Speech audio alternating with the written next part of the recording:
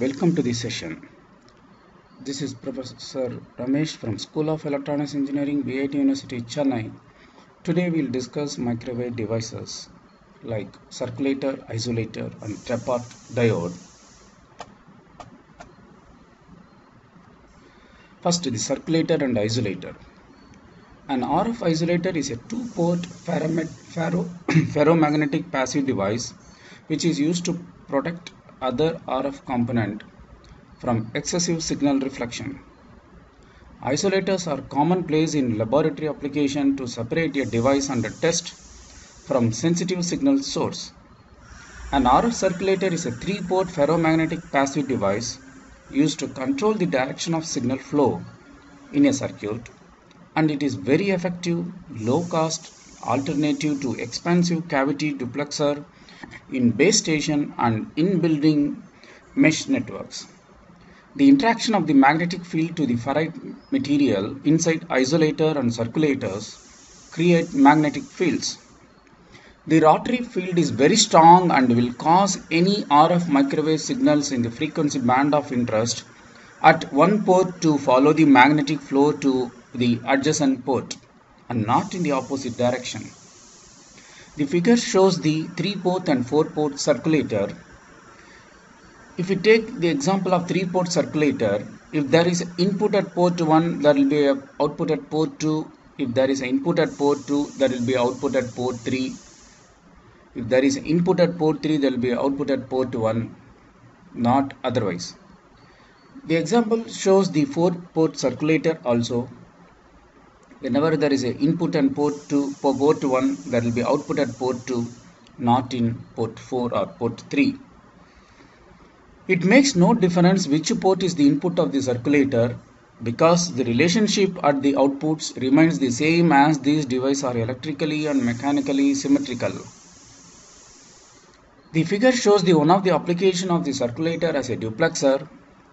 Instead of using two different antennas a transmitter and receiver we use the circulator which will act as a antenna for transmitter antenna for a receiver which is called as a duplexer. An inexpensive duplexer that is a device enabling a transmitter and receiver to sharing one antenna. The figure in the previous slide shows that when the transmitter sends a signal the output goes directly to the antenna port and is isolated from the receiver Good isolation is a key to ensure that a high power transmitter output signal does not get back to the receiver front end as is governed by the return loss of the antenna. All signals from the antenna go straight to the receiver and not the transmitter because of the circular signal flow. The diagram shows a transmitter and receiver on the same antenna. The figure first figure shows the conventional solution and the second figure shows the solution with a single circulator antenna which will access which will isolate the transmitter and receiver signal. This diagram shows the types of circulators and isolators the circulator and isolators are broadly classified as a resonance isolator field displacement circulator, phase shift circulator and circulator with rot Faraday rotation principle and a ring circulator, junction circulator, edge guided mode circulator and lumped circulators and a few waveguide stripline type microstrip types of circulators and isolators also listed here as shown in the diagram.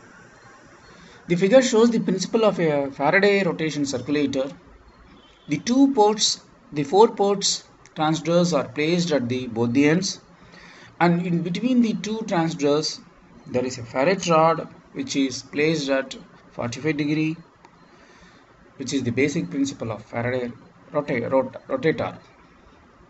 The Faraday rotation circulator the Faraday rotation circulator is based on a rotation of the polarization plane of an RF wave by the magnetic moments of the ferrite by H10 mode of wave in a rectangular waveguide transfers via a transition into a round waveguide and forms the linear polarized H11 mode of wave. In the middle of the linear waveguide, there is a round ferrite rod magnetized in the direction of the rod. We can split a linear wave into two circular rotating waves, one rotating clockwise and the other anti-clockwise when looking into the direction of propagation. These two waves interact with the electron spin of the ferrite, ferrite rod and have the propagation speed of mu plus and mu minus which differs from each other. If we combine the two rotating waves after they have traveled some distance, we get a linear wave again but rotated some degree. The length of the ferrite rod and the magnetic field are chosen for a rotation of 45 degree, which is a basic principle of Faraday rotation. Another transition from round waveguide to a rectangular waveguide finishes the circulator. A H10 mode of wave entering port 1 is transformed to a round waveguide the ferrite rotates the wave clockwise by 45 degree. The second transition transforms it to a rectangular waveguide which has also an angle of 45 degree with respect to the first rectangular waveguide and the waves leaves the circulator at port 2. A wave entering port 2 travel in the opposite direction and is also rotated clockwise by 45 degree. Now it is perpendicular to the waveguide of port 1 but leaves the circulator at port 3. As a conclusion, the most of the devices using the Faraday rotation are not circulator but isolators. They have only the input and output ports 1 and 2 and absorbs the wave perpendicular to them by resistive shifts. Faraday rotation isolators are built for very high frequencies and nowadays for optical isolator for fiber cables.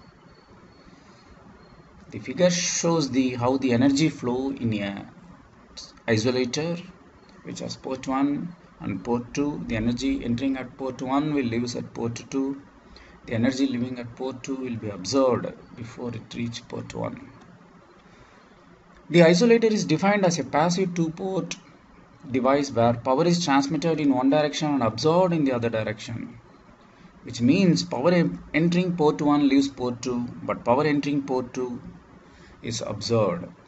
That means it will not leave at port 1 an isolator can be specially developed it is a specially developed item but we get also an isolator if we connect your load to port 3 of a 3 port circulators so circulators can be used as an isolator with a matched load the figure shows the symbol used for circulators and isolators in circuit drawings.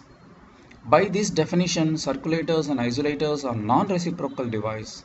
That means their behavior in one direction is very different from that in other direction. Circulators and isolators can be used for decoupling, reducing, combining as a duplexer. Decoupling means generator and load of as a decoupler in generator and load of amplifier stages which reduce intermodulation caused by other transmitter and reduce load return loss and VSWR and it is used to combine transmitter and receiver on the same direction which will act as a duplexer. Also, it is used in locking priming of oscillators in TV broadcast, radio links, air traffic, radar system, military equipment, car telephone system, measurement system, industrial microwave heating application, magnetic resonance tomography, etc. So here we conclude about the circulator and isolators. Circulators can be used as isolators, not vice versa. Now the other important uh, device is TRAPATT diode. The TRAPATT, Trapped Plasma Avalanche Trigger Transit Diode is another microwave energy which is used as a both energy device which used as a both amplifier and oscillator. It was first reported by Prager in 1967. It operates efficiently below 10 GHz and need greater voltage swing for its operation.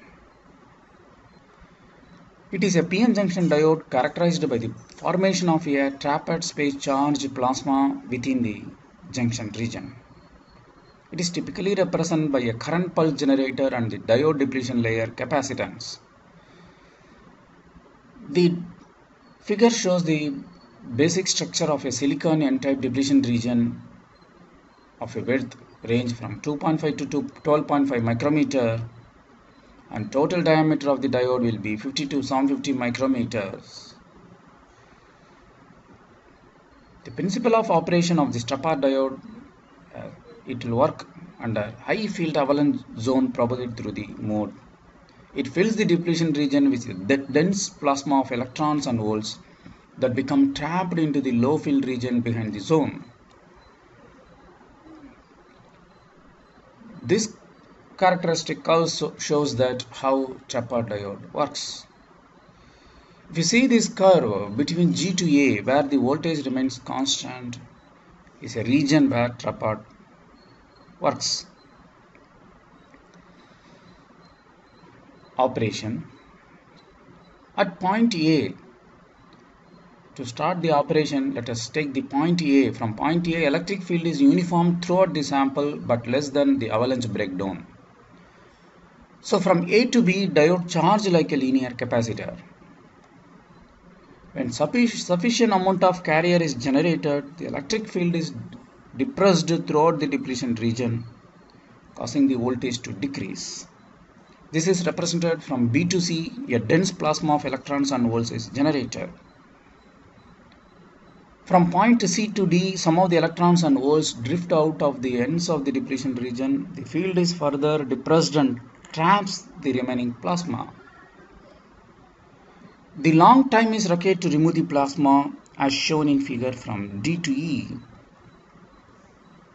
At point E, the plasma is removed, but residual charge of electrons in one end of the depletion region and residual charge of holes in the other ends remains. At fall at point P, all the charges that were generated has been removed. The point F to G, the diode charge like capacitor again as in A to B. At point G, diode current goes to zero for a half a period and the voltage remains constant at VA until the current comes back on the cycle repeats. The TRAPATT mode can operate at low frequencies since the discharge time of plasma can be considerably greater than the nominal transit time of the diode at high field. These are the typical parameters of a TRAPATT diode. Power range from 1.2 kilowatt to at 1.2 gigahertz. The maximum frequency obtained is 78% at 0.6 GHz and the frequency range of operation is up to 50 GHz. The RF is delivered by the diode to an external load when the diode is placed in a proper circuit with the load. At different frequency, the average power and efficiency are tabulated in the tabular column. The advantages of the TRAPATT diode is the efficiency is up to 40%, more suitable for pulse operation. It is very much higher level of efficiency than IMPATT diode very low power dissipation and it operates up to 50 gigahertz. The disadvantage is noise figure is greater than 30 dB, very noisy, not suitable for continuous operation because of its very high power density. These are the some of the application by TRAPATT diode. One is low power Doppler radars or local oscillator for radars, instrumental landing system and radio altimeter. With this, we conclude the session about the microwave devices. Thank you. Thank you very much.